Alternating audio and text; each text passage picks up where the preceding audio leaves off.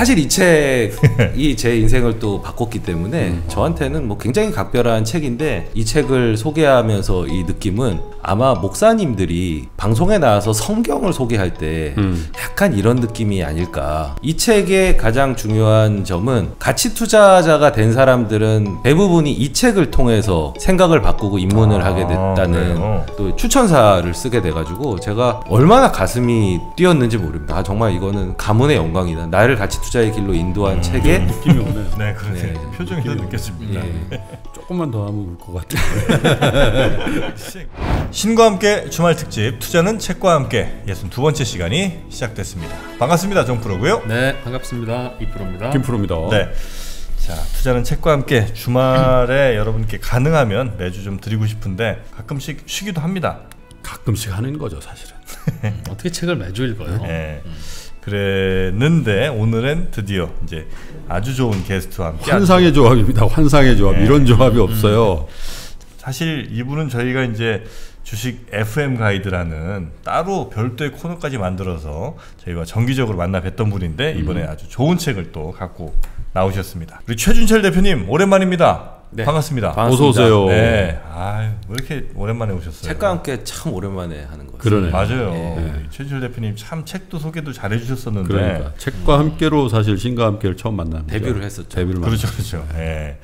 전철 대표님은 장이 나쁘면 책을 주로 읽어요? 아니면 이제 책을 읽을 정도 되면 뭐 어느 정도 장이 안정됐다는 방증으로 읽- 저희가 읽어야 돼요? 아, 책은 거의 일주일에 한 권씩 정도 읽는 게 거의 루틴인데요. 아. 작년에 제가 60권 정도 단행본 기준으로 읽었더라고요. 네. 장이 근데- 좋거나 나쁘거나 상관없이. 아, 예, 상관없이 거의 이렇게 루틴처럼 읽는데 음. 종류를 좀 바꾸죠. 그러니까 장이 안 좋으면 좀 투자 고전 책들, 음. 예 그런 것들을 읽으면서 약간 위로를 얻게, 뭔가 지식을 얻는다기보다는 이렇게 마음을 가다듬는 참아야 하느니라. 예. 어. 그리고 책을 보면 뭐 아 이 상황이 뭐 그 상황이구나 뭐 이런 것들을 깨달으면서 이제 넘기는 거고요. 뭐 평소 네. 때좀 다양한 분야로. 하여튼 뭐 그 어려운 시절 뭐 앞으로 또 어떻게 될지 모르겠습니다만 지나고 이제 오셨어요.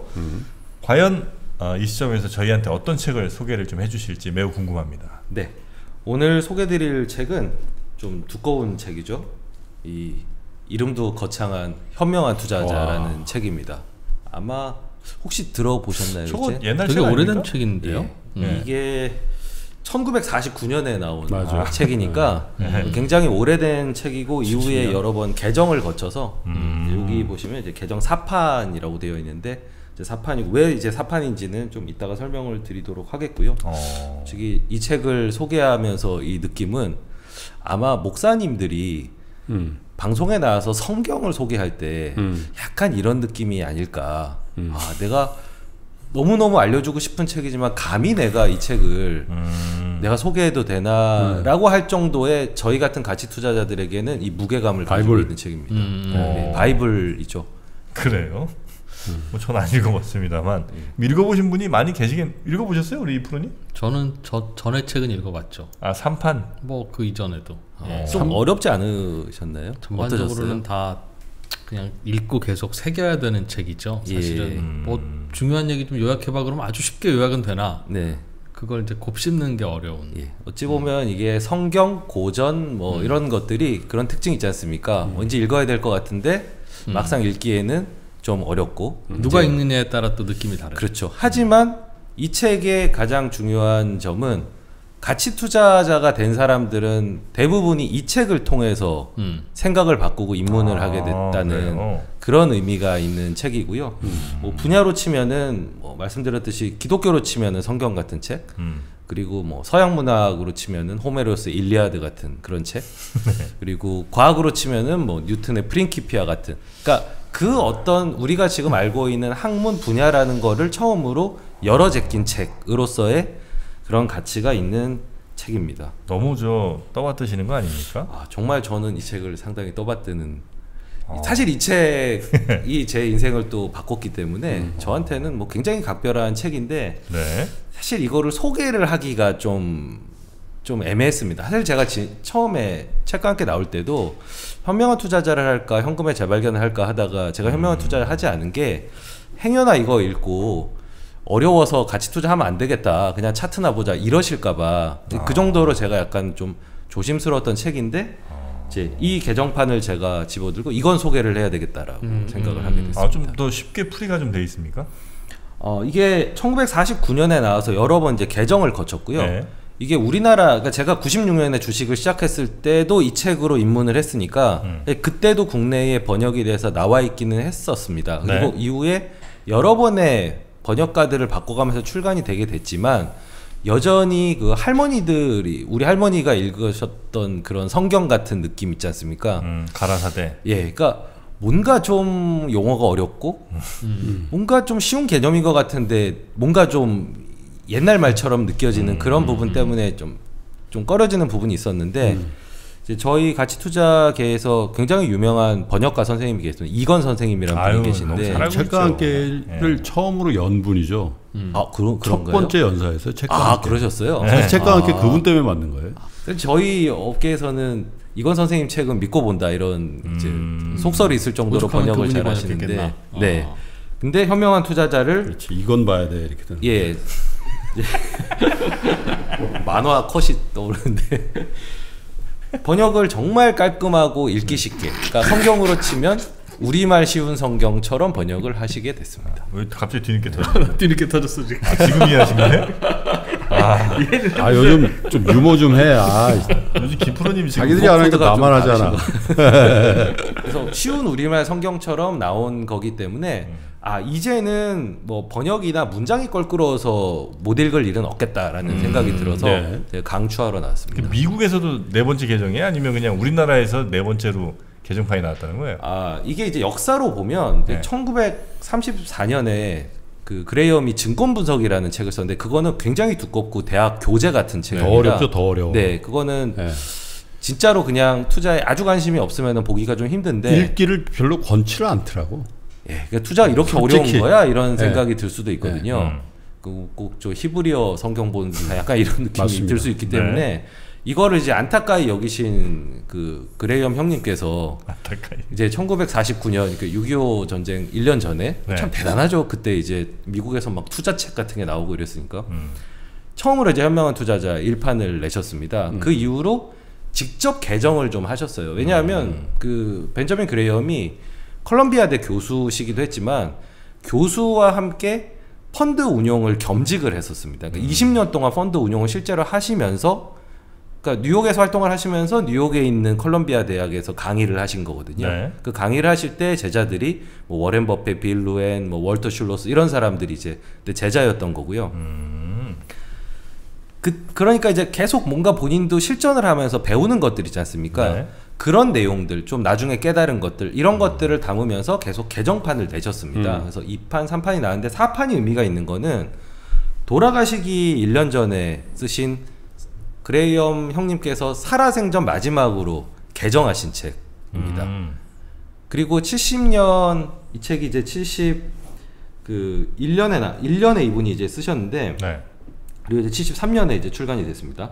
근데 그때가 이제 많이들 이제 들어보신 Nifty 50 버블이 네, 있었을 네, 때였습니다. 네. 그러니까 미국의 핵심 50 종목들만 그렇죠. 그냥 쭉쭉 갈 때. 그러니까 네. 요즘 요즘 비슷하죠. 예, 예, 요즘 비슷한 약간 그런 빵, 시기였었는데 뭐 MAGA 뭐. 그렇죠. 그거에 이제 옛날 뭐 폴라로이드, 제록스 뭐 맞아. 이런 것들이 한참 가던 IBM. 때였는데 예. 그때는 그분들한테는 굉장히 신기술이었던 거였습니다. 그때는 new economy 50였어요. 그렇죠. 예. 엄청나게 올라갔었습니다. 그러다가 이제 그 결국 버블이 꺼졌는데 그 즈음입니다. 한참 니프티 피프티가 진행되고 있을 때 저수를 하셨거든요. 그래서 이 책에 좀 그때에 대한 소고들이 많이 있습니다. 그러니까 강세장에 대한 소고들. 네. 그래서 과거 역사에서 비슷했던 상황들을 계속 이제 찾으셔가지고, 그러니까 이분이 굉장히 자팍다식한 분입니다.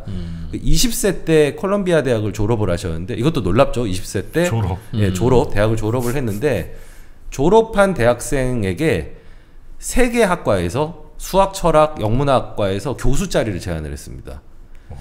근데 아 나는 뭐 학교에서 가르치는 것보다 월가로 가고 싶다 해서 월가에서 커리어를 시작하시다가 나중에 오히려 교수님이 되시면서 펀드 운용을 같이 하셨었거든요. 그 정도로 투잡에 오셨고. 예, 그 굉장히 자박다식 하시기 때문에 뭐 역사적인 부분들 그리고 본인이 경험했던 어떤 종목들, 과거의 사례들 그리고 어떤 인간의 심리들 이런 것들을 굉장히 폭넓게 망라하고 있는 책이기 때문에 단지 그냥 투자 기술의 국한된 책이었다고 하면은 아마 저희가 그렇게까지 열광하진 않았을 텐데 어떻게 보면 투기가 만연했던 시절에 이렇게 지성적이고 과학적인 책이 나왔다는 것 자체가 사실 당시 상황으로 보면은 굉장히 놀랍고 그래서 기념비적인 책이라고 얘기를 하는 겁니다. 어, 그래요. 알겠습니다. 하여튼 뭐 대단히 기념비적이라고 하니까 야 그분이 그냥 그럼 저 수학 교수 하겠습니다 그랬으면 아무것도 없는 그런 일이 돼 보이는 아 거네요. 그렇죠. 그렇네요. 그러니까 월가로 가게 된 거가 음. 사실 이 가치 투자가 생겨나게 된 음. 그런 시작점이 됐던 거고 뭐 사실 이분이 그러지 않았으면은 워렌 버핏이라는 사람도 없는 겁니다. 음. 워렌 투자는 버핏 근데 잘했어요? 수익률? 수익률이 20년 운영하시면서 연평균 복리로 20%를 하셨으니까 아, 어, 뭐 굉장히 높은 거의 20년 평균? 예, 그러니까 3년마다 두 배씩을 만드신 거죠.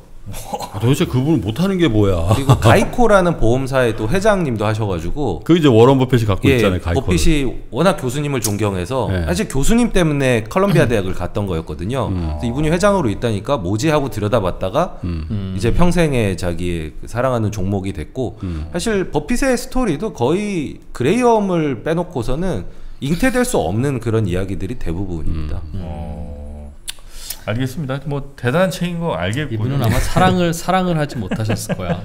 아닙니다. 결혼도 여러 번 아 그래요? 무좀이 있었을 거야. 예, 로, 뭐 로맨티스트였다라고 이런 분명 있었을 예. 거야. 사생활은 제가 이 정도로 그냥 가름하겠습니다. 자, 그럼 어떻게 뭐 바로 책 소개를 좀 해주시나요? 네. 아니, 네. 예, 이 책에 대해서 뭐 앞에서 좀 말씀을 드렸는데 네. 어, 이 책의 의의에 대해서 다시 한번 말씀을 드리면은 네. 네. 그 미국 시장이 지금은 굉장히 선진적인 시장으로 평가를 받지만 네. 뭐 1930년대 40년대에는 뭐 거기도 마찬가지로 굉장히 아사리판이었습니다. 그리고 SEC라는 게 대공황 이후에 나왔으니까 심판자 심판관도 없는 시장이었던 거죠. SEC라는 게 우리나라로 치면 금융, 금감원. 금감원, 그렇죠. 금융위 뭐 이런 예, 거좀 그 초대 원장을 이제 케네디 대통령 아버지가 음. 이제 하셨었는데 케네디 대통령 아버지가 굉장히 유명한 주식 투기꾼이었거든요. 투자자죠. 그러니까 투기꾼은 투기꾼으로 잡아야 된다 그래서 음. SEC 그, 그 의장 하셨는데 네. 그 정도로 이제 아사리판이니까 뭐 당시에 심판관도 없으니까 내부자 정보, 음. 뭐 소문, 작전 이런 것들이 이제 횡행하던 시기였고 거기 정보만 흘리고. 예, 그리고 예. 그때도 뭐 기술적 분석 이런 것들이 이제 있었던 시기였는데 이제 그레이엄의 이런 저작물을 통해서 투자가 투기와 분리되면서 과학적 영역으로 승화될 수 있었던 지금 우리가 투자를 어떤 일종의 학문 투자학이라고 얘기를 할 수 있는 거의 서막을 여셨던 거고요. 그리고 CFA라는 자격증 있지 않습니까? 그렇죠. 공인 재무 분석가 같은 경우도 이제 그레이엄 선생님께서 이제 주장을 해서 만들게 된. 어. 그러니까 모든 우리가 얘기하는 기업 분석과 관련된 그런 토대들, 가치 투자와 관련된 토대들을 다 이분이 만드신 한마디로 창시자이자 이제 가치 투자의 아버지라고 할 수 있는. 네. 예. 그러니까 당연히 이제 이 책이 그걸 집대성했기 때문에 음. 이제 성경이 되는 거죠. 그리고 또 대중들이 읽기 쉽게 만들었기 때문에 더 이제 뭐 증권 분석만 했으면은 사실 소수가 아마 그걸 깨닫고 했을 텐데 음. 그래도 좀 대중적인 책이었기 때문에 파급력이 그만큼 조금 더 음. 많이 미쳤고 당시에 프로 투자자도 아니었던 그냥 대학생 투자자였던 자였던 버핏도 음. 도서관에서 이 책을 읽을 수 있었던 게 이제 좀 대중적으로 쓰여졌기 때문이었습니다. 음. 네. 네. 최 대표님은 이 책 언제 처음 읽으셨어요?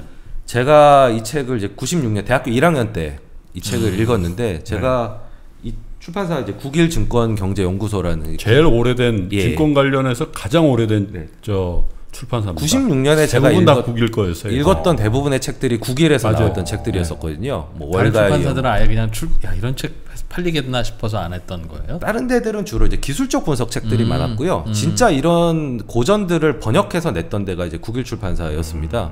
근데 제가 운 좋게도 이제 국일 출판사 책들이 모여 있는 데서 이 현명한 투자자라는 책을 이제 음. 보게 됐고요. 이 책을 읽고 나서 이제 매료가 됐던 두 가지가 첫 번째는 주식을 기업의 소유권으로 본다는 개념이 저한테는 이제 와닿았었고요. 그리고 그 두 번째는 이 책이 그 이 뭔가 되게 과학적 접근을 하면서 제가 생각하는 어떤 논리적 흐름에 부합을 했습니다. 그러니까 뭔가 합당성을 제가 느꼈습니다. 그러니까 기술적 분석을 보면서는 아니 뭐 차트가 이렇게 생기면 이렇게 다음에 생겨야 된다는데 제가 공감이 안 됐지만 이분의 그 책에서 느꼈던 접근 방법이 충분히 논리적으로 제가 수용을 할 수가 있었습니다. 음. 그래서 이 책을 보고 아 이제 가치 투자에 대한 관심이 생겼고 네. 이분 밑에서 배웠다는 워렌 버핏이라는 사람이 그때 이제 워렌 버핏에 관한 책들이 있었고 마이다스의 손이라는 책이 있었는데 음. 이제 그 책을 읽고 아 이게 실증적으로 미국에서 가능했던 거구나. 그럼 나는 우리나라에서 해봐야지. 사실 이렇게 제가 시작을 했기 때문에 거의 이런 현명한 이 현명한 투자자에서 대부분 제가 당시 초기 형성했던 투자에 대한 개념들을 다 이제 습득을 했고요. 그러니까 이게 들어오는 순간 이제 다른 투자의 개념들은 이제 못 들어오는 거죠. 그러니까 기본 개념을 이걸로 잡았고 이제 버핏이라는 사람으로부터 이제 믿음과 자신감을 얻으면서 이제 여기까지 오게 됐으니까 시작점은 이 책이었고 제 인생을 바꿔 바꾼 책이라고 할 수 있겠습니다. 네, 네. 그러니까 이 책으로 이 투자에 대한 혹은 뭐 주식에 대한 기초를 완전히 이제 이분한테 맡긴 거네요, 그러면. 그렇죠. 그래서 제가 그 저희 회사 입구에 이렇게 들어가면은 네. 이렇게 크게 벽에 아주 크게 이제 초상화 두 개가 이제 그려져 있는데 하나는 본인 거, 본인 아, 또 하나는 공동대표 거. 아, 어, 그것도 말이 되네요. 제가 이제 투자 구루의 반열에 오르면 그림을 바꿀 텐데 아직은 그렇지 않기 때문에 한쪽에는 벤자민 그레이엄 사진이 있고요. 네. 한쪽에는 워렌 버핏 사진이 있습니다. 그래서 그분들이 얘기하셨던 아, 진짜 그러네. 예, 이제 저 사진입니다. 제가 이, 저희 회사 입구인데요. 아, 그래요. 워렌 예. 버핏이 나이는 더 들어 보이나 실제로는 벤자민 그레이엄이 먼저 제자지 제자. 예, 옛날 사진. 아. 예. 그레이엄 선생님께서 저렇게 생기셨습니다. 예. 네. 그래서 저걸 항상 보면서 이제 일단은 오마주죠 일종의 아. 가치 투자 창시자에 대한 오마주 존경심을 드러내는 동시에 출퇴근할 때마다 저걸 보잖아요. 아니면 가- 차트가 보고 싶을 때 가서 또 한번 보고 그렇죠 마음을 다잡는 그러니까 가치 투자의 초심을 좀 되돌아보는 이제 그런 계기기도 하고 그리고 아 저렇게 좀 대가가 돼야 되겠다. 이제 선한 영향력을 끼쳐야 되겠다 이런 걸 결심하게 하는 네. 그 정도로 저한테는 차지하는 의미가 음. 큰 분입니다. 음. 근데 제가 이런 책에 또 추천사를 쓰게 돼가지고 제가 원고를 받고 추, 추천사 의뢰를 받았을 때 네. 얼마나 가슴이 뛰었는지 모릅니다. 아, 정말 이거는 가문의 영광이다. 나를 가치 투자의 길로 인도한 음. 책에 아 이제 한 20년 이상이 지나서 이 책에 추천사를 쓰게 된다는 게 저한테는 굉장히 큰 감동이고 정말 영광이고 감격이었어요. 느껴 느낌이 오네요. 네, 그러네. 네. 느낌이 느껴집니다. 예. 조금만 더 하면 울 것 같아요. 책 내용 좀 소개 좀 해줘요. 무슨 무슨 책을 이렇게 포장을. 오래 해. 예, 알겠습니다. 뭐 아까 말씀하신 것처럼 이 책에서 이제 기본 개념을 탑재를 하셨는데 네. 그 말씀하신 것 중에 주식이 기업의 소유권이라는 개념이었다. 네. 이게 지금은 저희가 당연하게 생각하지만 투자할 때는 그렇게 하지 않는 반면에 이 책이 쓰여졌을 당시의 분위기는 뭐 어떻게 보면 굉장히 혁명적인 그런 개념이었던? 거죠. 예, 그냥 회사는 그냥 창업자 혹은 그냥 대주주 거고 나머지는 그냥 시장 참여자들이 그냥 사고 파는 서로 이렇게 이렇게 넘기는 그런 이제 종이 쪽지라고 생각을 했었는데 이게 소수 지분이라고 하더라도 이건 경영권이야 경영권이라 봐야 돼 라고 주장하면서 그 논증들을 책에 담았다는 부분이 이제 이 책에서 혁명적인 개념을 제시했다라고 볼 수가 있습니다. 그러니까 이 뭐 가치 투자자를 정의하는 어떤 기준들이 보통 이제 그레이엄이 세웠던 기준에 따라서 이제 정통이냐 이단이냐 이런 것들을 이제 많이 가르는데요. 그런 데서 이제 너는 이단이 아니다라고 할 때 가장 기본적인 속성은 이 사람이 주식을 기업의 소유권으로 보느냐 아니면 trading의 대상으로 보느냐 음. 이거를 그냥 게임으로 보느냐 아니면 기업의 이익을 어떤 공유하는 개념으로 보냐 거기에서 가장 크게 갈리거든요. 그그 개념을 기본적으로 탑재하고 이걸 받아들여야만 이후의 내용들을 다 소화를 할 수가 있습니다. 그래요. 이걸 소유권인 건 뭐 인정은 하겠는데 네. 그걸 안다고 해서 네, 투자할 때 뭐 태도가 좀 달라지고 이런 게 있습니까? 어 일단은 그레이엄 선생님께서 말씀하셨던 내용을 제가 그대로 인용을 하면 네. 뭐라고 이제 이제 얘기를 하셨냐면 증권을 매매 매매해서 이익을 얻으려는 행위도 일종의 사업이다. 그러니까 심지어는 이걸 소유권으로만 보는 게 아니라 우리가 주식을 사고 파는 행위조차도 사업이라고 음. 보라고 얘기를 하고 있습니다. 그래서 사업을 운영하듯이 원칙을 지키면서 실행해야 된다라고 얘기를 하고 있습니다. 그러니까 기업의 소유권으로 보게 되면은 음. 그 다음 단계는 뭐 계산을 한다 이런 게 아니라 네. 마치 사업을 운영하듯이 투자를 한다가 되는 겁니다. 그러고 보면 자, 다- 자연스럽게 이 주식을 뭐 어제 누가 팔았다, 오늘 누가 샀다 이런 게 중요한 게 아니라 진짜 이 사업이 어떻게 운영되고 있는가로 관심이 이제 가게 되는 거죠. 어, 그 얘기를 이제 이 책에 초반에 이렇게 쭉 해준다는 거죠. 네, 그렇죠. 일단 그 얘기부터 하고 들어가는 겁니다. 마치 하나님이 천지를 창조하셨다. 사실 이거로 시작을 하는 거고 이걸 받아들이지 못하면 사실 그 이후에 진도가 안 나가는 거잖아요. 네, 네, 네, 네. 일단은 이걸로 받아들이고 시작해야 되는데 이 책에서 정확하게 얘기를 하고 있고 네. 단지 그 말만 던져주신 게 아니라 어.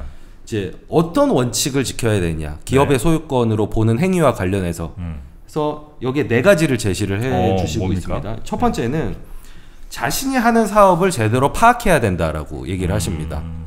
이게 가치 투자자들이 왜 기업 분석을 강조하고 아 뭐 저는 아는 것만 투자합니다. 뭐 모르는 건 투자하지 않습니다. 뭐 능력의 범위를 지킵니다. 이런 얘기들을 하는 게 다 자기들이 만든 얘기가 아니라 사실은 이 책에서 하는 내용을 단지 받아서 자기가 체화했을 뿐이라는 거를 얘기를 해주는 겁니다. 네, 네. 그래서 자기가 하는 사업을 파악해야 된다. 아, 가치 투자자들이 그 얘기 자, 자주 하는 것 같아요. 그렇죠. 이게. 원칙 중에 제일 첫 번째 나오는 첫 번째예요? 겁니다. 어. 네.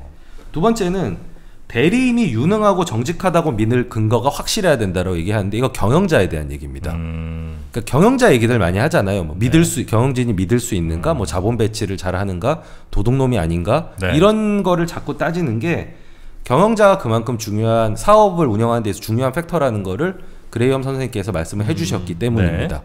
그리고 대리인에 관련된 그런 내용들이 굉장히 많이 나옵니다. 그래서 뭐 배당을 해야 되냐, 유보를 해야 되냐, 왜 경영자는 유보를 하고 싶어 하느냐 등등등에 대한 얘기가 또 굉장히 자세히 여기에 어, 또 논증이 되어 있습니다. 네. 그리고 세 번째는 합당한 이익을 기대할 수 있다는 확실한 계산이 나오지 않는다면 사업을 시작해서는 안 된다. 이거 예측 가능성을 얘기를 하는 겁니다. 그러니까 아무리 뭐 화려한 미래가 있더라도 내가 계산을 해보고 어 이거는 뭐 이익이 될지 안 될지 음. 합당한 이유를 찾기가 좀 어려운데 예측이 잘 안 되는데 계산이 잘 안 되는데라고 하면 그 투자는 하지 말라는 겁니다. 음, 그러니까 뭔가 이제 하지 말라는 것들이 많죠. 네. 그리고 마지막으로는 내가 사실에 근거해서 결론을 내렸고 이 판단이 건전하다고 믿는다면 다른 사람들의 생각과 다르더라도 실행하라. 이거는 가치 투자들의 또 역발상적인 접근 그리고 독립적인 사고를 강조하는 내용입니다. 그러니까 따지고 보면 이 자리에 온 많은 가치 투자들이 원칙이라고 하는 얘기들이 네. 다이 책에서 나왔다라는 거를 네. 알 수가 있습니다. 어, 진짜 가치 투자자들한테는 진짜 신적인 존재인가 보네요. 이렇게 좀 예. 말씀하시는 거랑 표정을 보니까 네. 아, 알겠습니다. 근데 그래서 주식이 기업의 소유권이라는 걸 먼저 이 책에서는 기본적으로 깔고요. 네. 예, 그 다음에는요. 그 다음에는 이 소유권이 이제 거래가 되지 않습니까? 네. 시장에서. 음, 그러니까 이 사적으로 거래하는 거는 배제를 하고 오로지 증권 시장에서 음. 거래가 되는 주식에 한해서 본인이 서술한다라고 밝히고 계시거든요. 네. 결국 주식 시장을 어떻게 볼 거냐 하는 문제에 있어서 음. 이제 혁명적인 개념을 주셨습니다. 그러니까 이분이 네. 이 개념을 설파하기 전까지는 시장 어떤 존재냐면 우리가 예측해서 맞춰야 되는 존재였습니다. 음. 내일 주가는 어떻게 될 것인가? 뭐 한 달 뒤 주가는 어떻게 될 것인가? 예측의 대상이었는데 네. 벤저민 그레이엄은 미스터 마켓이라는 단어를 통해서 시장을 의인화해서 우리 같은 우매한 중생들에게 주식 시장의 속성을 명쾌하게 밝혀주기 위해서 이런 네. 의인화를 하셔서 설명을 해줍니다. 그래서 저희가 뭐 이게 옛날 번역본 뭐 주가 아저씨 뭐 이런 식으로 아, 번역이 되긴 이분이 처음 만든 말이에요, 미스터 마켓. 맞습니다. 어. 예. 근데 그게 길지도 않고요. 네. 굉장히 짧게 언급되는 부분인데도 뭐 비우니까 사실 이거 가지고 쭉 얘기를 한 게 아니라 음. 잠깐 나오는 개념인데도 이게 이제 책을 덮고 나서 사람들 마음에 많이 남았던 그런 내용이었던. 거죠. 예. 어. 예, 지금은 그냥 너무 보편적인 개념으로 가치 투자계에서 알려져 있어 그냥 미스터 마켓이라고 저희가 그냥 부르고요. 네. 일상적으로도 얘기합니다. 뭐 Mr. Market이 어땠다. 뭐 맞아요. 어제는 예. 미스터 마켓이 뭐 기분이 나빴다. 이렇게 얘기한 음. 다 이제 이 이 책에서 나온 아. 그런 개념이고요. 이 미스터 마켓의 속성에 대해서 이렇게 얘기합니다. 시장에 매일 나타나 가지고요. 음. 가격을 부릅니다. 삼성전자 50만 원, 뭐 삼성전자 60만 원. 이렇게 어떤 날은 근데 뭐 100만 원. 음. 이렇게 부르는데 그게 왜 부르는지에 대해서 예측하지 마라. 왜냐하면 얘는 조울증 환자야라는 겁니다. 그러니까 기분이 좋으면 그냥 그 가격을 부르고 높은 가격을 부르고 기분이 나쁘면은 나, 낮은 가격을 부르는 거지. 거기에 뭔가 굉장히 심오한 음. 아이 사람이 화를 내는 데는 뭔가 이유가 있을 것이다가 아니라 그냥 감정의 기복이 굉장히 심하다는 거죠. 그러니까 이게 어려운 뭐 그냥 다른 말로 하면 시장 참여율 자체가 인간이고 인간이 감정이 있기 때문에 시장 전체가 감정이 있다는 건데 음. 이거를 그냥 한 단어로 표현해서 속성을 좀 명쾌하게 밝혀 주신 거죠. 네. 그럼 뭐 그 정의가 중요한 게 아니고요. 음. 미스터 마켓은 이런 사람이니까 그럼 우리가 해야 될 일은 미스터 마켓을 이용하라는 겁니다. 예측하지 말고 이 사람의 감정이 뭐 내일 기분이 나쁠 거다 좋을 거다 뭐 이런 거 예측하지 말고 이 사람이 부르는 가격에 오로지 집중하라는 겁니다. 음. 그래서 기업의 소유권의 가격을 내가 계산을 했다고 하면 네. 예를 들면 뭐 삼성전자를 내가 계산했는데 100만 원으로 계산이 됐다. 음. 근데 미스터 마켓이 120만 원 부르면은 무시하는 거예요. 아. 가라 이렇게. 음. 그날 안 사는 거죠. 다음 날 또 와요. 130만 원. 음. 안 사. 근데 어느 날 와서 갑자기 70만 원 이러는 거예요. 음. 그러면은 그때만 이 미스터 마켓이랑 거래하라는 겁니다. 음. 그러면 이 사람은 당신의 부를 그 늘려줄 좋은 동반자가 될 것이다. 음. 라는 게 이 미스터 마켓의 개념이고요. 결국 여기서 그레이엄이 하고자 하는 말은 사람들은 대부분 시점 선택을 하려고 한다는 겁니다. 뭐 음. 오늘 살까 내일 살까 음. 뭐 지금 살까 한 시간 있다 살까 네네. 올라가는 추세에 살까 아니면 떨어졌을 때 V자 반동을 노리고 살까 시점 선택을 하는데 그레이엄은 이 책 전반에 걸쳐서 가격 선택을 하라고 얘기를 합니다. 시점보다 더 중요한 건 주어지는 가격이라는 거죠. 음. 그리고 그 가격을 항상 내가 받게 되는 가치와 비교해서 비교하는 습관을 기르, 기르고 항상 계량화하는 습관을 길러야 된다 이런 말을 덧붙이고 네. 계십니다.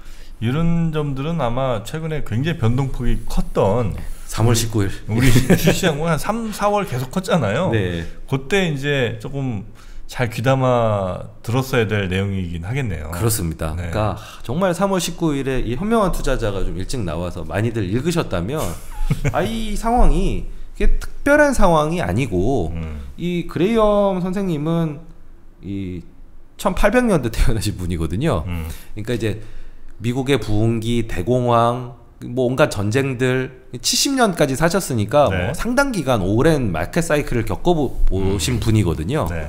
근데 이분이 이제 폭락장에 대해서 많이 이렇게 언급을 하시는데 음. 다 그 속성이 좀 비슷비슷하다는 겁니다. 그래서 이분의 이제 명언들을 몇 개 좀 보면서 3월 19일 좀 떠올리시면서 네. 제가 좀 읊어드리면 네. 주식은 가격이 큰 폭으로 변동하기 십상이다. 투자자는 이런 가격 변동성을 잘 알고 있어야 하며 금전적 손실과 심리적 충격에 대비해야 한다. 음. 이게 딱 3월 19일에 우리가 갖춰야 될 태도에 대한 거죠. 네. 그러니까 주식이라고 하는 게 그래서 움직인다는 겁니다. 제가 저번에 방송에 나왔을 때도 JP 모건이 뭐 주가는 오르내릴 것입니다. 이렇게 얘기를 했다고 말씀을 드렸는데 뭐 같은 맥락입니다. 주식은 큰 폭으로 변동을 할 수밖에 없고 음. 빠졌을 때 충격을 주는데 충격을 안 준다는 게 아닙니다. 금전적 손실 안 준다는 게 아니에요. 음. 이게 있는데 대비를 해야 된다라는 겁니다. 음. 그러니까 심리적으로 대비를 하든 아니면 뭐 주식의 선택에 있어서 대비를 하든 뭔가 뭐 채권을 사놓든 뭐 이런 걸로 어쨌든 대비를 해야 된다. 이제 이런 말씀을 하고 계시고요. 뭐 같은 맥락에서 이제 한마디 더 하시는데 가격 변동성에서 오는 수익 기회를 잡는 방법은 주가가 적정 가격보다 낮을 때에는 매수하고 높을 때에는 매도하는 것이다. 이 가치 투자자들이 가장 좋아하는 상황이죠. 살 때 사고 이제 비쌀 때 팔고 그리고 너무 뻔한 얘기 아닙니까? 근데? 아, 뭐 뻔한 얘기지만 3월 19일에 이제 보면 좀 느낌이 다르죠. 성경에도 서로 사랑하라고 써 있어요. 아, 하나님을. 사랑하고 이웃을 사랑하라고 이제 왼손이 하는 일을 오른손이 못해. 그러면 조금 더 조금 네. 더뼈 때리는 얘기를 네네네. 예. 시점 선택에 집중하면 결국 투기꾼이 되어 투기꾼에 어울리는 성과를 얻게 된다. 좀 아. 냉소적인 말이죠. 예. 투기꾼은 투기꾼의 성과를 거두리라. 아, 시점 선택하면 그렇게 된다. 예. 근데 누가 투기꾼이냐? 시점 선택, 가격 선택 안 하고 시점 선택하는 사람이 투기꾼이라는 얘기입니다. 그냥 책에서 대놓고 얘기를 합니다. 이런 사람은 투기꾼이다. 이런 사람은 망, 망한다 이렇게 아- 대놓고 얘기를 하시거든요. 내일쯤 되면 좀 쌀 것 같아서 예, 오늘도 싸지만 내일 사자 이게 시점 선택인 건 아닌가요? 시점 선택인 거죠. 그죠. 예, 미스터 마켓을 만나고 음. 만나고 내 패를 보고 음. 손을 잡느냐 이 이 활동이 투자라는 겁니다. 그러니까 가격 보고 아 내가 설정한 가격보다 높으면 안 사고 네, 음. 낮으면 사고 이것만 그렇죠. 해야 되는데 그렇죠. 이게 지금 낮아서 살 사고 와, 사야 되는 가격인데 내일 되면 이거보다 좀 더 낮아질 것 같아서 기다리는 거는 시점 선택인 싸긴 거죠. 싼데 많이는 안 싸. 이제 기다려 볼까? 그렇게 하지 말라고 네, 하지 말래요 형. 하지 말랍니다. 뻔한 얘기 하나 더 해드리겠습니다. 네. 가격이 폭락했을 때는 싸게 매수할 기회이고 가격이 폭등했을 때는 비싸게 매도할 기회이다. 무슨 소리야? 하나만 한 얘기하고 있어요. 그렇지. 그러니까 이거는 하지만 근데, 근데 3월 정확히 19일에 정확히 우리 반대로 한대. 예. 폭등하면 사고. 아 이제부터 시작이구나라고요. 폭락하면은 어머 어제 팔았어야 되는데. 이 말에 따르면 3월 19일에 싸게 매수할 기회이기 때문에 샀었어야 되는데 많이들 그렇게 못 하셨죠. 팔죠 팔아. 예. 쉽지 않았고요. 20일에 더 떨어질까 봐 그랬죠. 네. 그리고 뭐 이 중에서 제가 준비한 것 중에서 제가 제일 좋아하는 네. 경구를 소개를 드리면 어, 다른 시간에는 주식 시장을 잊고 배당 수익률과 영업 실적에 관심을 기울이는 편이 낫다. 다른 시간이라는 게 뭐예요? 어, 그러니까 이 매매가 일어나는 시간을 얘기를 하는 겁니다. 음. 그러니까 버핏이 얘기하는 그 농구를 하는데 음. 자꾸 농구 경기에 집중해야 되는데 자꾸 스코어 보드만 보고 있다는 거죠. 몇 점인가. 농구할 생각은 안 하고. 그러니까 하루 종일 시세를 보고 있는 사람들을 얘기를 이렇게 좀, 좀 잘못됐다라고 얘기를 하는 건데 네. 그러니까 시점 선택하느라고 계속 시세판 보고 있지 말고 음. 그래서 주식시장을 잊으라 그랬잖아요. 네, 네, 잊고 배당 수익률과 영업 실적에 관심을 가져라. 음. 사실 제가 늘 이제 방송에 나와서 강조를 했던 게 이게 중요하다. 실적과 배당 수익률 굉장히 그렇죠. 중요하다라 얘기했는데 이 그것 또한 이제 밝혀지는 거죠. 음. 저의 독창적인 아이디어가 아니라 다 이분이 가르쳐 주신 대로 그냥 하고 있을 뿐이라는 거를 네. 말해주고 있습니다. 어, 그 다음에 진짜 또 유명한 말이 하나 나오는 거죠. 안전마진. 네, 안전마진. 예. 예? 미스터 마켓보다 더 유명한. 안전마진, 투명벽돌 예, 뭐 이런 이게 거. 원래는 이제 margin of safety인데요. 네. 이게 우리가 익숙하긴 하지만 참 처음에 누가 번역을 했는지 그냥 번역된 채로 이게 그냥 우리말이 되어 버렸습니다. 사실 국문과 영문이 합쳐진 완전 맞아. 예, 안전 그러네. 그러고 보니까 마진이 안전 영어구나. 안전 마진입니다. 예. 근데 또 마진은 거의 한국말처럼 쓰긴 예. 쓰니까. 아 그러네요. 그러고 보니까 예. 만 마진이- 섞어 그런 거야. 예. 원래대로 하자면 안전한 마진 예. 이렇게 되는 거예요. 음. 이좀 어쨌든 한번 뒤집어 보면 이상한 말이 익숙해질 정도로 굉장히 유명한 개념이라는 겁니다. 이 책에서 굉장히 핵심적인 방법론. 그러니까 앞쪽에서 나오는 건 이 책에 많이 나 반복되는 단어가 건전이라는 단어를 많이 씁니다. 그레이엄께서. 그러니까 뭐, 건전? 예, 건전한 투자, 뭐 건전한 접근, 건전한 활동. 그러니까 투자자들이 되게 건전하기를 원하셨던 것 같아요. 그래서 태도와 기질에 대한 얘기들을 굉장히 많이 하시거든요. 근데 안전마진이 중요한 건, 어, 그러면 선생님 어떻게 하란 말입니까에 대한 방법론에서 가장 중요한 개념이기 때문에 그렇습니다. 그러면 계속 하시는 얘기가 이게 대공황을 겪으셨던 분이잖아요. 네. 그러니까 스무 살 때 이게 교수가 될 뻔 하신 이 천재께서 음. 계속 미래는 모른다고 그러시는 거예요. 미래는 어떻게 될지 몰라. 회사의 미래는 어떻게 될지 몰라. 우린 다 실수할 수 있어.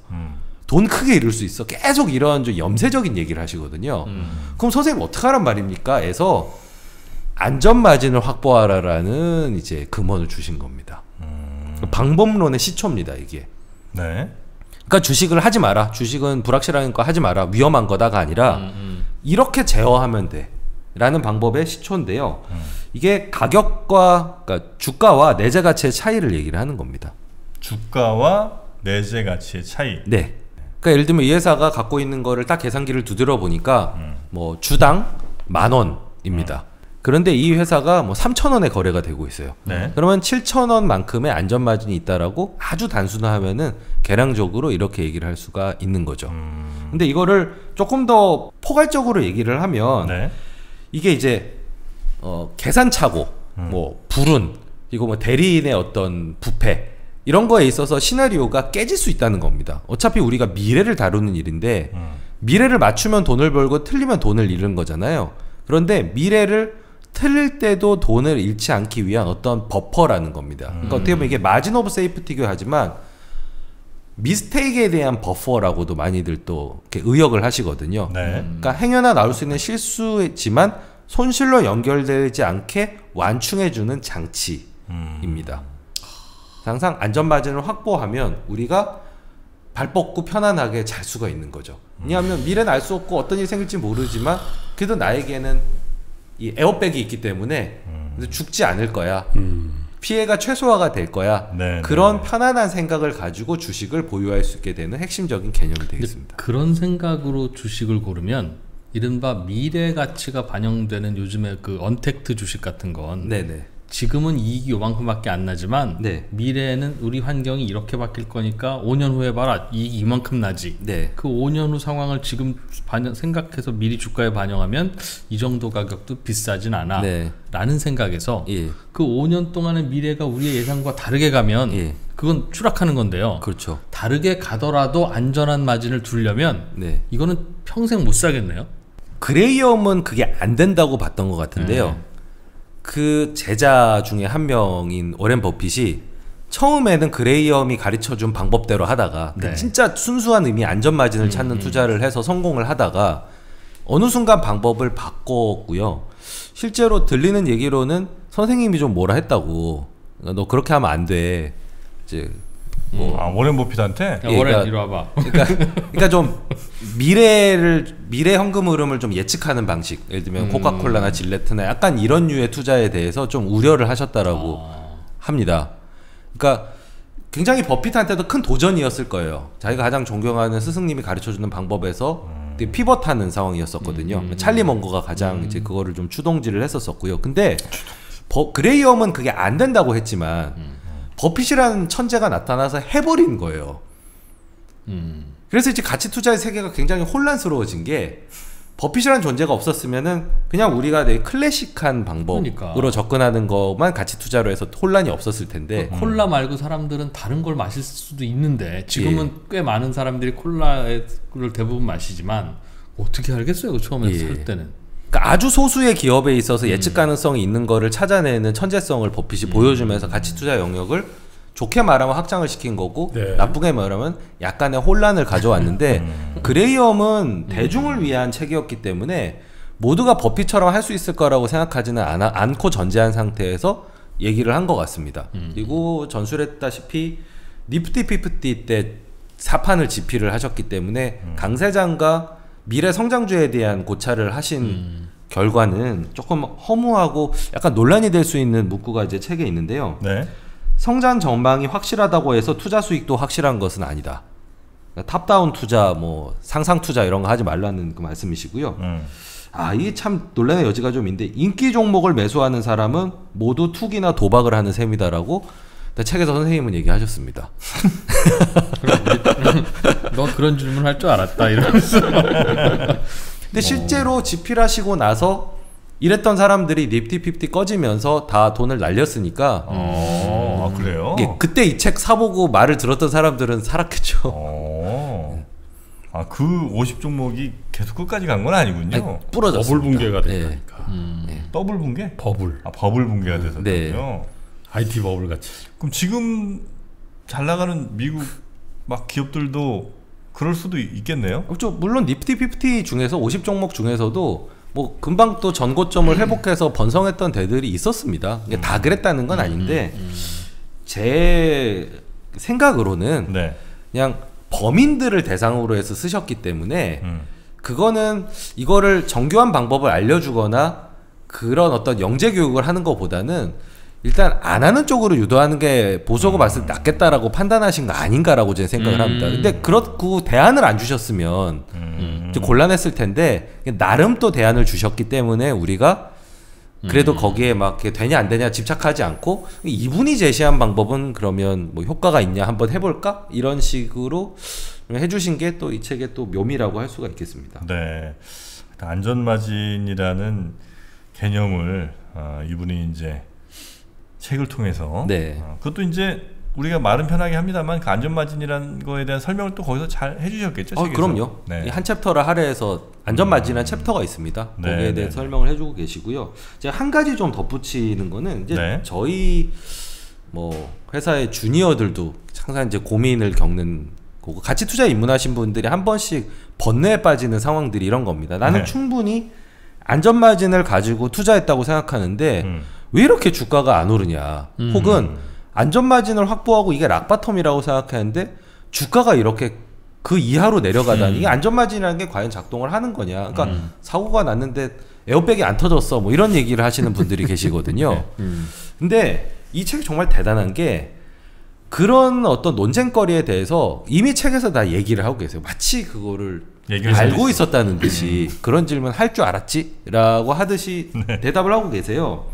뭐라고 얘기하시냐면 안전마진은 이익 가능성을 손실 가능성보다 사- 성보다 높여줄 뿐인 거지 손실을 방지해 주지는 못한다. 그러니까 3월 19일 같은 날이 오면 얼마든지 깨고 내려갈 수 있다는 거예요. 그러나 안전 마진을 갖춘 종목의 수가 증가할수록 이익의 합계가 손실 합계를 초과할 가능성이 더 확실해진다. 그러니까 분산 투자해서 전체를 안전 마진을 갖게끔 한 효과가 나오는 거지. 하나 뭐 안전 마진 하나 샀는데 뭐 그게 막 절대 주가가 안 빠지고 얘가 뭐 엄청 빨리 회복이 되고 이런 걸 기대하는 건 난망이다. 이게 완전히 다른 분야지만 왜 벤처업계에서 하는 얘기가 뭐 100개 투자해 놓으면 대부분 망하지만 뭐 구글 페이스북 나오면은 모든 손실을 다 메꾸고도 남는다. 와 약간 비슷한 개념으로 생각하니까 집합적인 의미에서 의미가 있는 거지. 한두 개 그냥 예외 없지는 예, 개별. 종목 몇 개 투자해 놓고 이 효과가 발휘되는 걸 바라는 건 좀 무리라고 얘기를 하고 계십니다. 그래서 안전 마진은 어, 이렇게 확보하고 가는 것이 전체 내가 열 종목이나 스무 종목을 갖고 있다면 훨씬 더 나중 결과로서는 어, 좋은 결과를 그렇죠. 가져올 총합의 것이다. 결과가 안전 마진을 생각하지 않고 짠 포트폴리오보다 나을 거다라는 네, 말씀이신 네, 네. 겁니다. 그리고 아마 이런 거 따지면서 샀던 사람이면 분명히 좋은 결과가 좀 있을 것 같아요. 음. 그런 거 아예 생각 안 하고 사시는 분들도 적지 않다 보니까 자, 안전마진이라는 개념도 우리 벤자민 그레엄 아저씨가 처음 또 제시를 해주셨고 아저씨라는 말은 좀 선생님 혹은 불경한 나한테는 아무 의미가 없는 아저씨예요. 아줌마요 그럼 아, 저 아저씨지? 당황했습니다. 아저씨라고 그러면 어, 나한테는 최준철 아저씨가 훨씬 나아. 벤자민 그레엄 뭐 나한테 무슨 도움을 줬어요? 아, 뭐, 아주 사심 가득한 음, 네. 책과 함께. 알겠습니다. 그래서 선생님으로 가겠습니다. 네. 혹시 또 다른 개념들 뭐 어떤 거 있을까요? 또 이 책에 좀 음. 대단한 점이 구체적인 전략을 제시해주고 있다는 겁니다. 그러니까 완전히 개념적인 어떤 사실 안전마진만 하더라도 여전히 좀 개념적인 느낌이잖아요. 음. 그리고 이 책에서 서문에서 정확하게 밝히고 있습니다. 내가 어떤 태도나 뭐 기질 이런 거에 초점을 맞춰서 했지 아주 구체적인 투자 방법을 가르쳐 주려고 이 책을 쓴 건 아니다. 네. 어, 그, 그런 거에 궁금하면 증권 분석을 봐라. 뭐 이런 식의 이제 얘기였는데 하나 한 가지 방법을 제시를 해주고 있습니다. 이게 아주 이 책에서 많이 회자가 되고 같이 투자하는 사람들이 이 책으로 입문했을 때 어, 나도 이 방법으로 한번 해봐야지 이거 진짜 되는 거야 라고 해보는 방법인데 넷넷 투자라고 얘기를 합니다. 넷, 넷 투자. 예, 음. 예, 여기서 넷은 뭐 그물 이런 얘기가 아니고요. 우리가 왜 뭐 손실과 이익을 네팅 네팅한다, 넷한다라고 했을 때 예. 뭐넷 익스포저 이런 것처럼 이제 뺀다는 뜻인데요. 음. 그 순유동자 그러니까 유동자산이라고 하는 게 들면 뭐 매출 채권, 재고, 뭐 현금. 그러니까 우리가 회사를 청산한다. 사업 나더 이상 안 해라고 했을 때 현금화할 수 있는. 그러니까 공장 땅 이런 거 말고 기계 이런 거 말고 음. 매출 채권은 이제 깡 이제 돌려받으면 되고 이제 한, 더 이상 한, 장사 안 하니까. 앞으로 한 달 후에 이 회사가 마련할 수 있는 현금의 총량 그렇죠. 뭐 그 그러니까 정도? 단기에 음. 뭐 청산한다고 했을 때 바로 현금화할 수 있는 것들, 음. 재고, 책, 매출 채권 그리고 현금 이런 것들, 고 그것만 딱 음. 굉장히 보수적인 거죠. 딱 여기서 총 부채를 차감한, 그러니까 유동 부채가 아니고요. 네. 그 고정 부채 포함해 가지고 음. 다 차감해서 나온 거에 시가총액이 이거의 3분의 2도 안 되는 가격. 어. 그러니까 완전 이거 이 회사를 통으로 사 가지고 다 청산했다고 했을 때 그냥 공장 땅 기계 다 빼고 음. 딱 손에 쥐는 현금이 이 회사에 지불한 가격보다도 높은 음흠. 예. 음. 이런 경우가 뭐 있겠나 싶은데 사실 있습니다. 이런 것들이. 아 실제로 지금도 있어요. 그러니까 굉장히 사업 전망이 음. 비관적인 비관적인, 거죠. 예, 어. 비관적인 거죠. 그러니까 음. 재무 구조는 좀 괜찮지만 사업 전망이 굉장히 안 좋은 거를 얘기를 하는 음. 겁니다. 이거를 순유동 자산 가치라고 하고 이걸 빼기 때문에 이제 넷넷이라고 얘기를 하거든요. 이게 정말 그냥 초염가 종목이라고 생각하시면 됩니다. 근데 이거를 정확하게 이제 숫자를 짚어 주신 거죠, 방법을. 그러니까 이게 요즘 얘기하는 퀀트 투자하고 좀 비슷한 그런 네. 개념입니다. 예. 퀀트 투자의 어떻게 원조라고도 볼 수 있는 음. 이제 그런 방법을 제시를 하셨는데 이게 이제 계속 회자가 된 이유는 이게 이론에 그친 게 아니라 예를 들면 마르크스가 뭐 공산당 선언을 하고 자본론을 써서 그냥 책으로 끝났으면 막스가 이렇게까지 회자되지 않겠지만 그걸 보고 러시아에서 혁명을 일으켜서 사실 그 책이 더 이제 책 그렇죠. 이상의 존재가 된 거잖아요. 이것도 왜 이렇게 화제가 됐냐면 일단 본인이 음. 교수님께서 직접 이 방법으로 해서 아까 말씀드린 연봉리 20%를 달성하신 거예요. 보여주신 거죠. 음. 직접 보여주신 겁니다. 직접 선언도 하고 혁명도 하신 그 케이스가 된 거죠. 음흠. 그리고 그 제자, 1등 제자인 버핏이 초창기에 이 넷넷 방법을 써가지고 투자를 해서 또 성공을 했습니다. 물론 나중에 바꾸죠. 왜냐면 버크셔 해서웨이가 전형적인 넷넷 투자의 대상이 돼서 샀던 건데 음.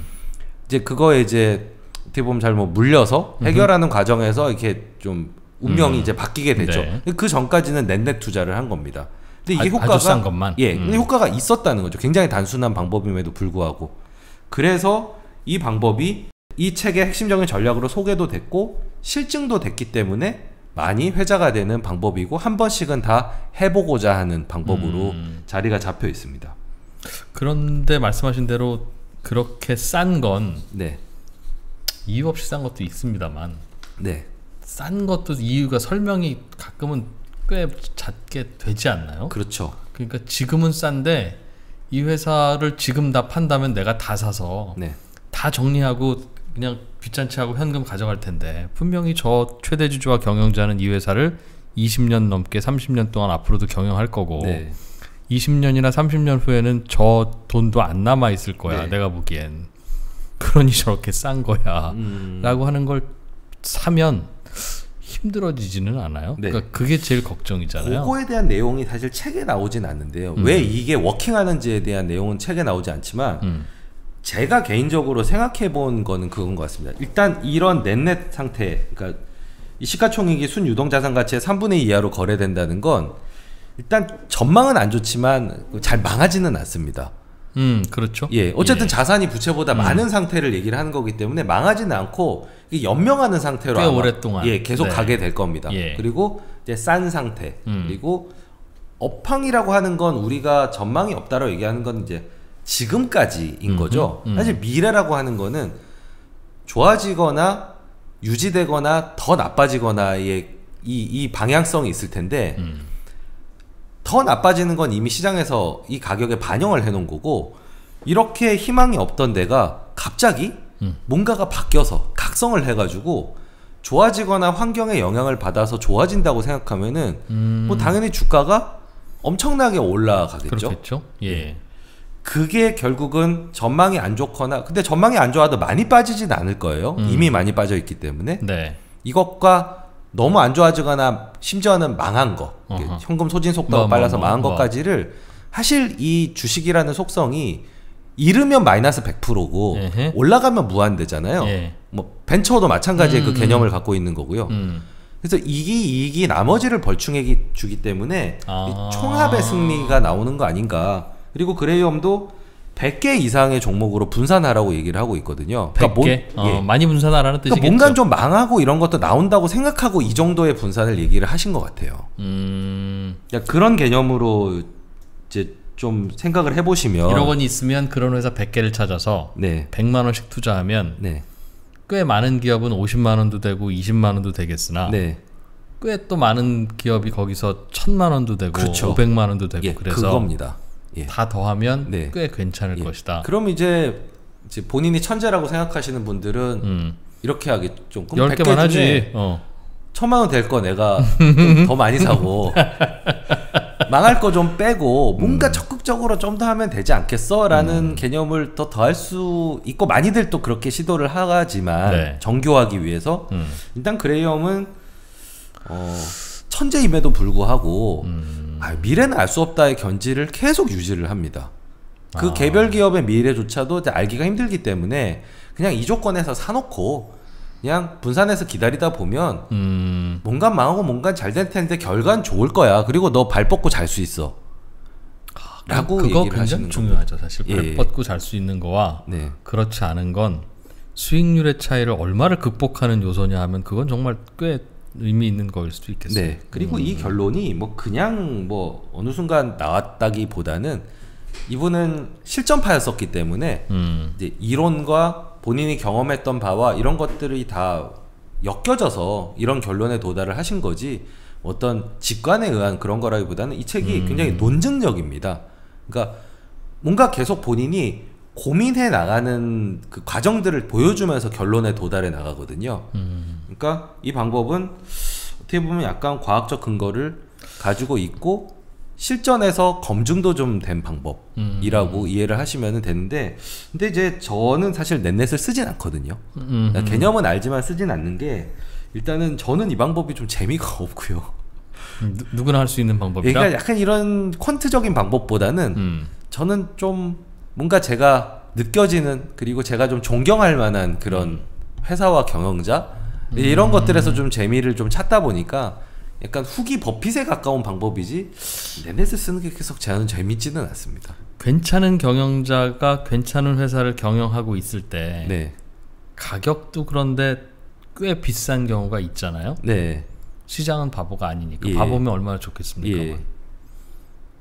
그럴 때는 어떻게 하세요? 기다려요? 아니면 아 기다리면 이 가격이 오겠어? 예를 들면 아요 회사가 주당 5만 원만 하면 살 텐데 네. 8만 원이야. 예, 그런데 지난달 가격 보니까 6만 원이야. 예, 안 사고 기다리면 10만 원 넘을 것도 같아. 네, 참 좋은 회사야. 네. 그 어떤 그런 경우가 꽤 많잖아요. 좋은 가- 질문이신데요. 음, 음.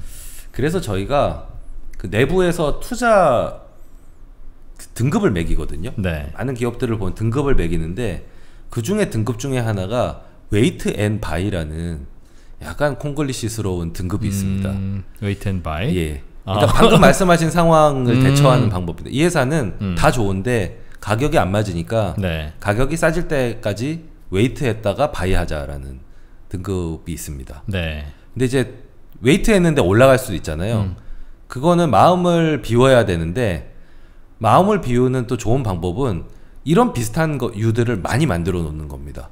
wait and buy를 예 그러면 어떤 거는 wait 했는데 기회 안 주고 가지만 음. 어떤 거는 걸려들 수 있잖아요. 네. 그런 걸 사면서 위안을 삼고 가는 것 소출이 전혀 없으면 안 되니까요. 음. 그래서 이제 많은 종목을 보고 많은 종목을 wait and buy를 걸어놓고 모니터링을 하고 오게 되면은 잡아내는 게 음. 그냥 무슨 일이든 사실 생기긴 생기거든요. 그렇겠죠. 개별적으로도 음, 생기고요. 뭐 크게라도 생기고. 예, 뭐 음식료 회사 같은 경우는 가끔 나오는 뭐 음. 식중독이나 뭐 이런 이슈일 수도 있고요. 네. 그 그게, 그게 또 대신 이제 치명적이냐 아니냐 뭐 이런 걸다 가져내 아주 뭐 좀 그때 그때 예, 판단해야 고도의 과정이. 있겠지만 음. 좀 기다리는 방식. 근데 우리나라는 그래도 선진 시장에 비해서는 자주 와요. 좀싼 편. 그러니까 전반적으로는 그래도 조금 저평가된 편이라서 음. 뭐 가격적인 부분에서 크게 불만이 있는 시장은 아니 오히려 탁월한 걸 찾기가 좀 어려워서 어려워서. 그렇죠.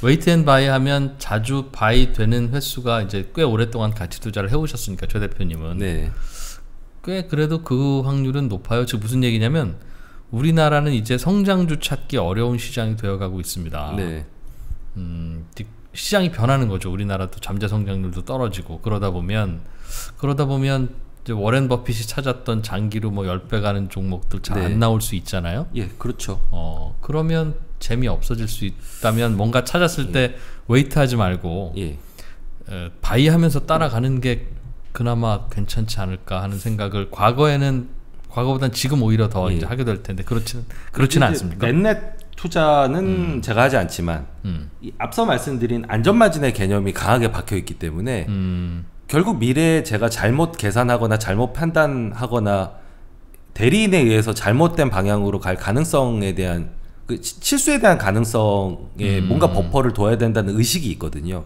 어떻게든 그거를 찾으려고 노력하는데 아무래도 가격적인 부분이 편하지 않으면 그렇겠죠. 음. 안전마진 있는지 없는지 먼저 안전마진 없다는 느낌을 확실하게 주는 권역이 있거든요.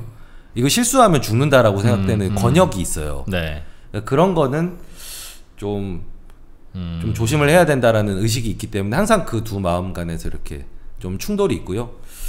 어, 뭐 어쨌든 성장 이 얘기가 나온 김에 사실 제가 얘기하는 성장은 어, 사람들이 딱 들었을 때 성장할 것 같아라고 직관적으로 할 수 있는 게 아니라 자세히 뜯어보면 성장이 동감이 되는 음, 처음에는 잘 모르는. 예, 시장에서 좀 간과하고 있는 성장의 요인을 음, 사실 얘기를 하는 겁니다. 그거는 성장을 하면 반드시 실적으로 나오겠죠, 그렇죠? 그렇죠. 어. 그러니까 먼저 반영되는 경우는 조금 드물죠. 왜냐하면 그렇죠. 몰라 예, 사람들이 모르니까. 예, 뭐 테마라도 걸리 뭐 그럴 가능성이 좀 상대적으로 좀 적은 거죠. 네. 그래서 뭐 그레이엄 선생님도 배당 수익률과 영업 실적을 강조를 했던 게 음.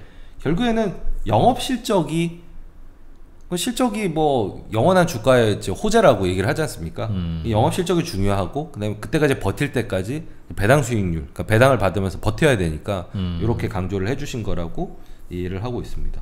그리고 아까 그 넷넷에서 하나 한 가지만 더 네. 덧붙이면은 이제 미국에서 이 넷넷 종목들이 많이 없어졌거든요. 그러니까 지금 미국에서는 쓸 수 있는 방법은 아닙니다. 음, 이거는 주로 이제 2000년대 초반에 우리나라에서 넷넷 하기에 좋은 시장 뭐 네. 이렇게 해서 외, 외국 투자가들이 많이 얘기를 했었는데 그 이유가 싼 종목의 지분율이 음, 계속 미국은 역사가 이제 진행이 되면서 낮아지게 되다 보니까 예. 그런 기업들을 가만두지 않고 소위 말하는 activist들이 그 기업을 다 음. 이제 takeover하고 뭐 이런 식으로 그 저평가를 해소를 시켜버리면서 싹 다 사라져 버렸습니다.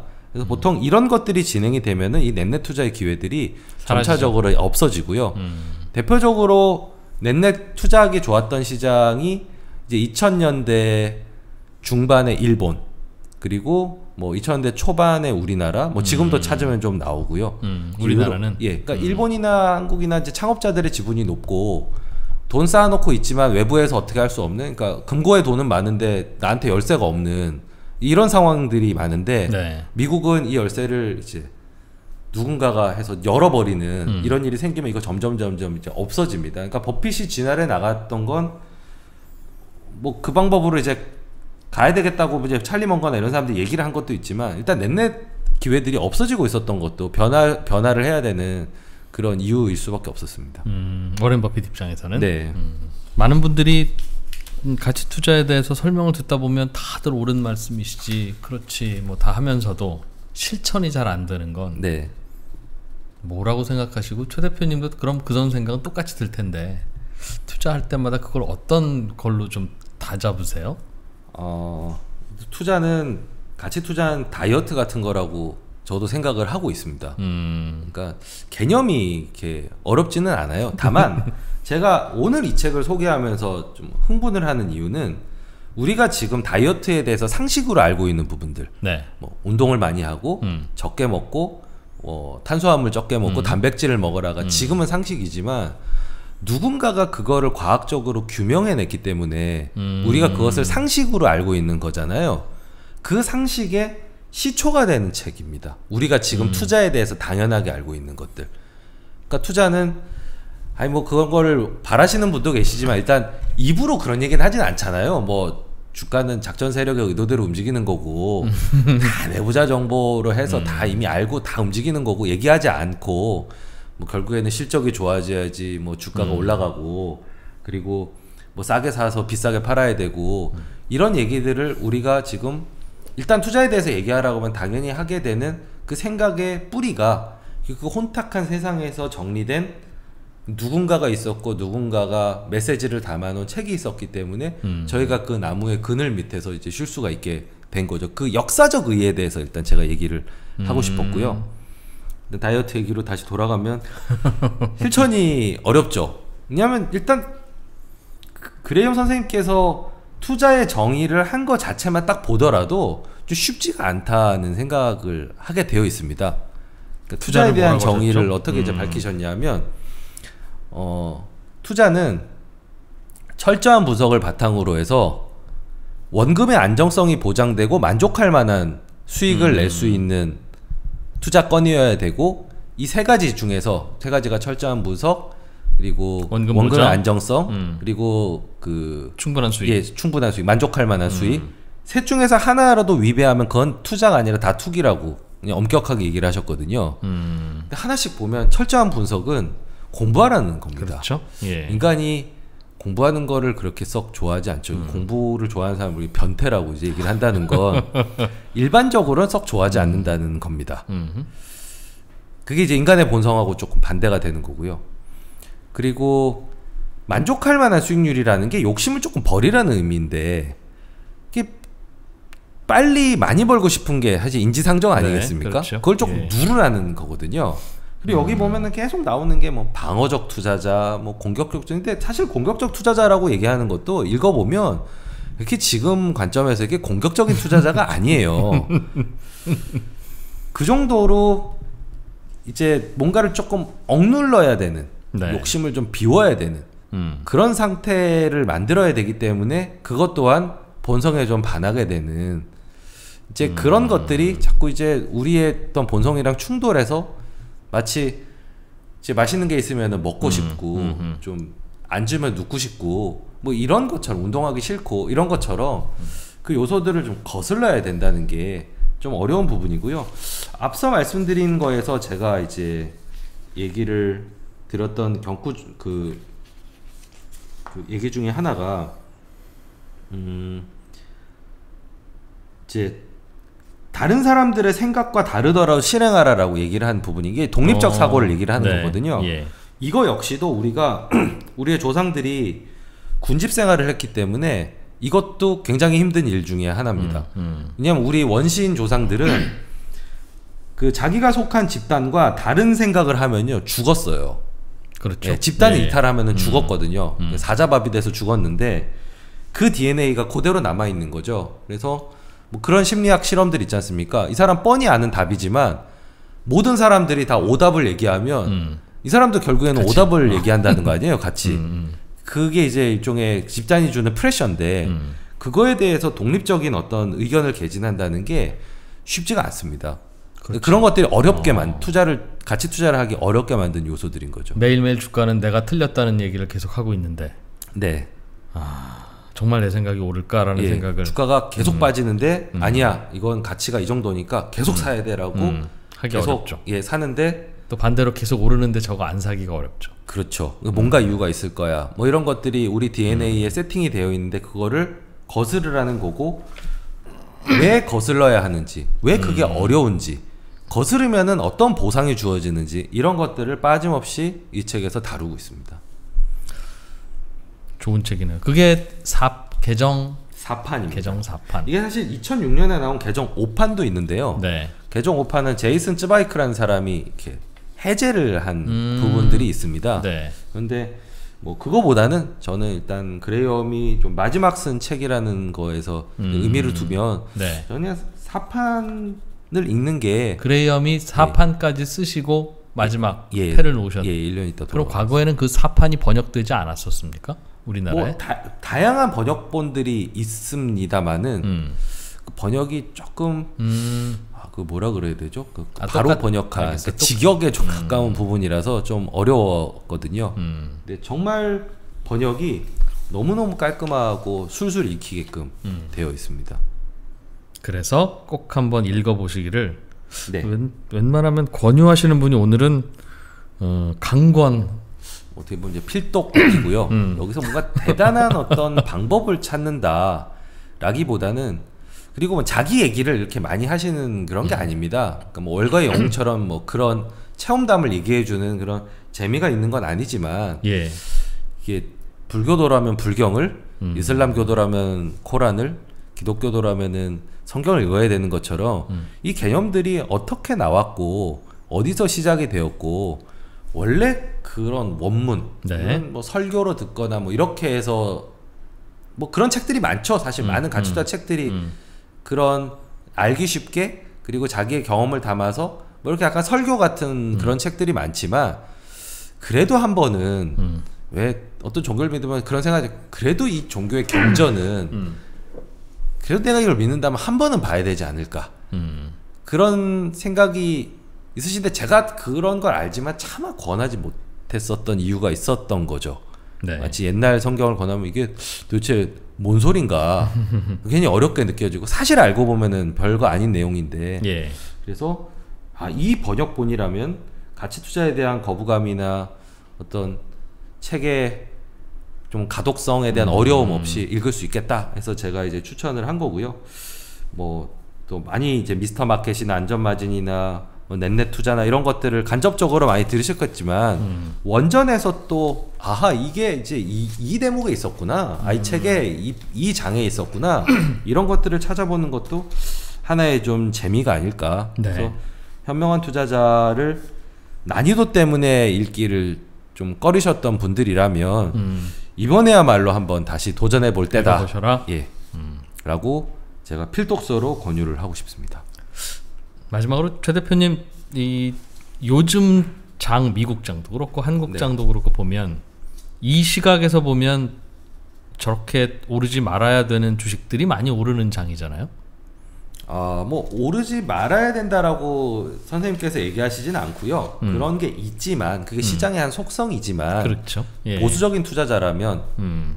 방어적인 투자자라면 거기에 거리를 두고 음. 우리가 능력 범위에서 채택할 수 있는 발 뻗고 잘 수 있지만 어느 정도 만족할 만한 수익률이 나오는 그런 방법으로 음. 가야 된다. 그러니까 여기서 심지어는 뭐라고 얘기를 하시냐면요. 성장주를 산 사람들은 주식 시장과 변, 주식 시장의 변덕과 기복에 마음을 졸이게 된다라고 쓰여져 있습니다. 다들 무슨 말씀인지는 아실 거고. 네. 그러니까 음. 졸이더라도 나는 한번 성장해 내 눈에 보이는데 가보고 싶어 이런 사람들을 음. 말린다기보단 네. 하지 말아의 의미로 전 해석하진 않아요. 이거는. 음. 그러니까 그러면 그럴 것인데 그렇다면 편안하게 잠잘 수 있는 방법은 뭐가 있을까? 내가 음. 생각해 보니까 이런 방법이 있어. 이렇게 흘러가는 거. 알겠습니다. 그래서 이상하게 보시진 않았을 것 같아요. 지금 상황 너무 음. 참, 참 50년 전이나 지금이나 음. 비슷하구먼. 이라고 그렇죠. 예, 예. 생각을 하실 것 같아요. 사람들의 선택의 결과니까 네. 그 사람들과 그 사람들은 뭐 크게 다르지 않겠죠. 네, 그리고 어. 조금은 아쉽게 생각하시지 않을까. 왜냐하면 최근 한 몇 년간 가치 투자 이런 어떤 정통적인 가치 투자를 음. 추구했던 사람들의 성적이 그닥 좋지 않았기 때문에 그런 거에 대해서는 어, 좀 안타깝게 생각하시면서 음. 아마 한 계정 5판, 그러니까 본인이 쓰신 거 기준으로 5판에선 네. 또 그걸 가지고 이 천재적인 머리로 생각하신 것들을 또 한번 이렇게 푸시려는 시도를 아마 하시지 않으셨을까. 음. 당시에도 그 책이 아주 잘 팔렸어요. 네. 이 책은 어. 그러니까 그때 당시에 그, 그 영화 보시면 행복을 찾아서라는 영화 혹시 아, 윌 스미스가 아들이랑 나오는 네, 네, 그 네. 증권 예, 브로커에 예, 예. 대한 얘기인데 음, 음. 어렵게 증권사에 취직을 했어요. 그랬더니 증권 분석을 주면서 이거 공부해라 이렇게 그러니까 신입사원 필독서 같은 책이었던 네. 거죠. 예, 증권 예. 분석이. 음. 그러니까 그거는 이제 아이 프로페셔널들이 입문할 때 교재로 쓰는 책이었던 거고요. 음. 이거는 대중적으로 상당히 인기를 끌었고 그리고 어떻게 보면 좀 매력적이지 않나요? 그러니까 천재 교수님이신데 음. 본인이 펀드 운용도 해가지고 네. 성과도 좋아요. 그러면은 당연히 이 책에 대해서 궁금증이 음. 생겼겠죠 사람들이. 그렇겠죠. 예. 음. 그리고 나중엔 이 제자라는 사람들이 음. 신기한 게 예를 들면 월터 슐로스라는 제자는 이 net-net 투자를 끝까지 합니다. 음. 그러니까 죽을 때까지 이 방법을 했어요. 네. 그리고 워렌 버핏이나 빌 루앤 같은 사람들은 소위 말하는 quality 투자를 했거든요. 그러니까 조금 스승님 방법보다는 안전마진의 정신만 계승하고 음. quality 투자로 갔는데 모든 제자들이 성적이 좋았어요. 장기간에 걸쳐서 음. 그레이엄의 제자들이. 그래서 버핏이 나중에 그 그레이엄 헌사를 하면서 그레이엄과 도드빌 마을 사람들이라는 그 글을 씁니다. 음. 버핏의 명문 중에 하나인데요. 여기 376페이지에 그레이엄 도드 마을의 탁월한 투자자들이라고 이 출판사에서 음. 부록으로 넣어놨습니다.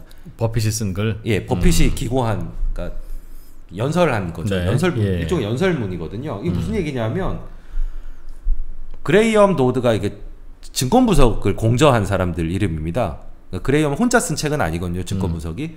그레이엄 도드라는 그레이엄 도드 마을에 빗대 가지고 슈퍼 투자자들 네. 정말 엄청난 성과를 거둔 사람들이 이 마을 한 곳에서 나왔으면 음. 이게 우연이냐? 뭐 이런 이런 얘기입니다. 버피 예. 다운 네. 포인트네요. 그러니까 어. 제자들이 다 그렇게 스승님 밑에서 배워서 잘 됐으니 음. 당연히 그레이엄의 명성은 높고 음. 당연히 이제 이 저작물 음. 사실상 거의 유일한 대중들을 위한 저작물이니까 음. 관심들이 많고 베스트셀러였던 거죠. 아직까지도 팔리는 이 생명력이 길게 유지되는 것도 이유가 있고 제가 요- 추천사를 쓰느라고 원고를 다시 네. 읽어봐요. 사실 제가 수차례 읽었던 책입니다만은 음. 원고를 다시 또 읽으면서 느낀 게 아 또 경험이 쌓이면서 또 읽게 되는 그러니까 음. 어, 20살 때 읽었던 성경과 50 살 때 읽는 성경이 조금 다를 수 있는 인생의 어떤 좀 네. 깊이가 쌓이면서 경험이 쌓이니까 좀 다르게 읽히는 부분도 있었고요. 역시 아, 옳구나 예, 싶어요. 옛날에는 잘 느껴지지 않았던 게 좀 경험을 해보면서 음. 아 그래서 이분이 얘기를 하셨구나라는 것들도 좀 그런 대목들도 있었고요. 음. 그리고 이게 어느 마켓의 상황에 따라서도 다 통용되는 어떤 얘기들이다 보니까 이것이 과연 진리구나. 음. 아, 이 책의 생명력이 긴 데는 분명히 이유가 버핏은 아직까지도 이 책을 서고에 꽂아놓고 음. 아직도 꺼내서 본답니다. 가끔. 음, 그 정도의 어떤 음. 진리를 담고 있는 책이라는 걸 제가 다시 한번 절감을 했습니다. 최 대표님 때문에라도 한번 꼭 음, 아, 그렇게 읽어볼 관심을 만한 제가 유도했다면은 이 방송을 나온 의미가 충분히 있겠습니다. 도대체 무슨 책인데 저러는 거야? 그러니까 최소한.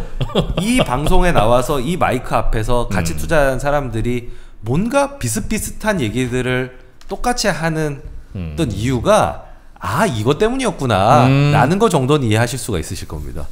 아 이 사람들이 만들어낸 게 아니었어. 이 사람들 막 독, 독창적으로 생각한 것 같았는데 음. 그게 따지고 보면은 다 여기서 나온 거였어 라는 거를 깨달을 수 있으실 겁니다.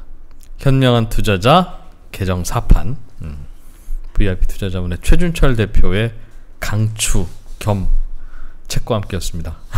모두들 현명한 투자자가 되셨습니다. 이름도 너무 멋지지 않습니까? 현명한 예. 투자자. 음, 대개는 투자와 편안한 숙면을 같이 하기는 어렵죠. 네. 많은 사람들이 빨리빨리 투자해서 번 후에 나는 편안한 숙면을 해야지 네. 라고 생각합니다만 동시에 할 수도 있어요 라는 메시지를 전해주는 그래 서 혁명적인 개념이었고 네. 센세이셔널한 책이었습니다. 꼭 한번 읽어보십시오. 여기서 마치겠습니다.